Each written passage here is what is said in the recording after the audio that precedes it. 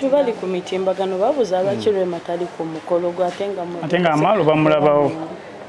Bannange is it a battle?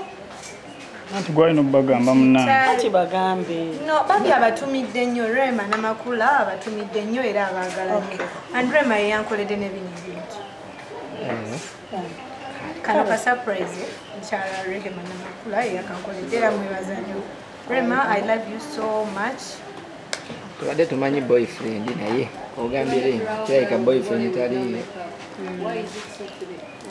bagole balina obenanameka no me am team nacho.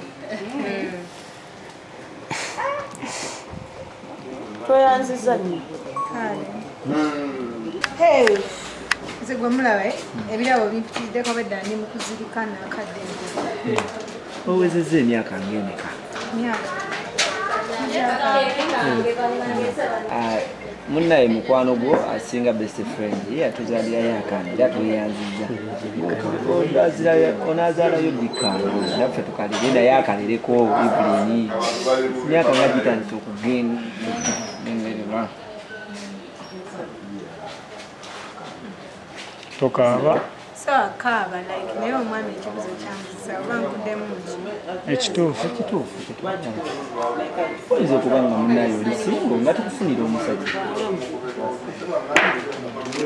abawagizi babanja omwana. Ba- eh, eki abawagizi babanja no abawagizi nooli bwe nali muzaala saamala beebuzaako ekitegeeza nze yasiima ne ngamba nti kati kanzaala era wonna bantuusiza era bebe mujja